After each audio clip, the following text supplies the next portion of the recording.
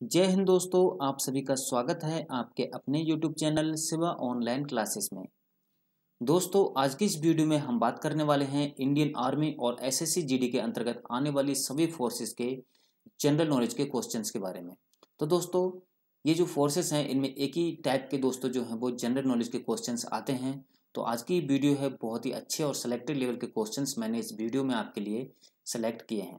तो चलिए दोस्तों स्टार्ट करते हैं आज की वीडियो लेकिन दोस्तों, वीडियो शुरू करने से पहले आपसे एक रिक्वेस्ट होगी कि अगर आपने अभी तक हमारे यूट्यूब चैनल को सब्सक्राइब नहीं किया है तो हमारे चैनल को सब्सक्राइब कर लें और बेल आइकन को प्रेस ज़रूर कर लें, जिससे आने वाली वीडियो की नोटिफिकेशन आप तक पहुँचती रहे। तो चलिए दोस्तों स्टार्ट करते हैं आज की वीडियो। क्वेश्चन नंबर वन है, भारतीय संविधान में सम्मिलित नीति निर्देशक तत्वों की प्रेरणा हमें किस संविधान से प्राप्त हुई है? तो क्वेश्चन नंबर वन का सही आंसर है option D Ireland.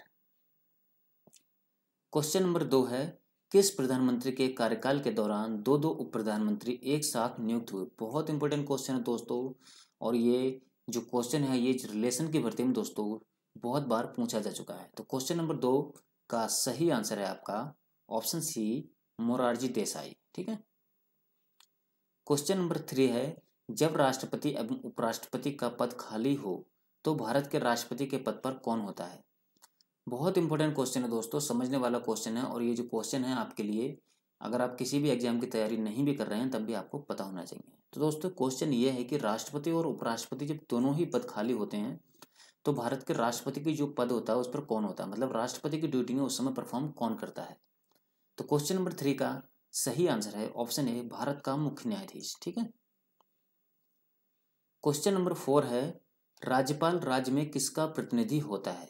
राज्यपाल जो होता है, आपको पता है कि प्रत्येक राज्य में एक राज्यपाल नियुक्त किया जाता है।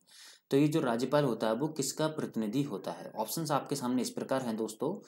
तो क्वेश्चन नंबर फोर का सही आंसर है ऑप्शन सी, राष्ट्रपति का। ठीक है?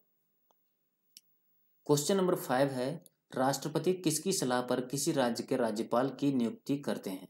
तो जो राज्यपाल की नियुक्ति होती है, उसकी जो नियुक्ति करता है, वो राष्ट्रपति करता है, लेकिन वो किसकी सलाह पर करता है? तो question number four sorry five का सही आंसर है ऑप्शन डी प्रधानमंत्री। नेक्स्ट क्वेश्चन की तरफ़ चलने से पहले आप सभी को बता दें कि अगर आप इस वीडियो की पीडीएफ फ़ाइल को बिल्कुल फ्री में डाउनलोड करना चाहते हैं तो हमारे Telegram channel Shiva online classes से डाउनलोड कर सकते हैं। तो दोस्तों क्वेश्चन नंबर सिक्स है आपका। संघ लोक सेवा आयोग के सदस्यों की नियुक्ति कौन करता है? संघ लोक सेवा आयोग के सदस्यों की नियुक्ति कौन करता है? तो क्वेश्चन नंबर सिक्स का सही आंसर है आपका ऑप्शन डी राष्ट्रपति। क्वेश्चन नंबर सेवन है, राज्यपाल के लिए नामित प्रथम फ़िल्म अभिनेत्री सॉरी राज्यसभा के लिए नामित प्रथम फ़िल्म अभिनेत्री कौन थी? तो दोस्तों, ऐसी कौन सी प्रथम फ़िल्म अभिनेत्री थी जो कि राज्यसभा की सदस्य चुनी गई थी? तो क्वेश्चन नंबर सेवन का सही आंसर है option C Nargis Dutt. Question number eight है, प्रधानमंत्री पद पर सर्वाधिक समय तक कौन आसीन रहा है? प्रधानमंत्री पद पर कौन सबसे ज़्यादा समय तक अभी तक रह चुका है? तो क्वेश्चन नंबर फोर के सॉरी एट के ऑप्शंस आपके सामने आ चुके हैं। तो यहाँ पर क्वेश्चन नंबर एट का सही आंसर है option D Jawaharlal Nehru. Question number nine है, किस प्रधानमंत्री ने एक बार पद से हटने के पश्चात दोबारा पद संभाला था? ऐसा कौन सा प्रधानमंत्री जो एक बार प्रधानमंत्री बना नेक्स्ट इलेक्शन में पद से हट गया और नेक्स्ट इलेक्शन में वो फिर से प्रधानमंत्री बन गया? तो ये दोस्तों क्वेश्चन नंबर नाइन का सही आंसर है ऑप्शन सी इंदिरा गांधी, ठीक है? और आज की वीडियो का दोस्तों लास्ट क्वेश्चन सॉरी आज मैं क्वेश्चन कम डाल पाया क्योंकि कुछ कारण थे टाइम की कमी थी, जिसकी वजह से मैं आपके लिए पूरे क्वेश्चन नहीं दे पाया। तो दोस्तों क्वेश्चन नंबर दस है और आज की वीडियो का लास्ट क्वेश्चन है। सबसे कम उम्र में प्रधानमंत्री पद पर आसीन होने वाले व्यक्ति हैं। तो क्वेश्चन नंबर दस का सही आंसर है राजीव गांधी, ठीक है? तो ये थे दोस्तों दस क्वेश्चन जो कि काफ़ी इंपॉर्टेंट क्वेश्चन थे आपके लिए।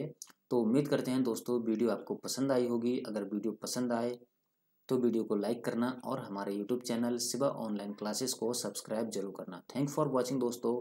कल फिर मिलेंगे एक नई वीडियो के साथ में। तब तक के लिए नमस्कार। जय हिंद जय भारत।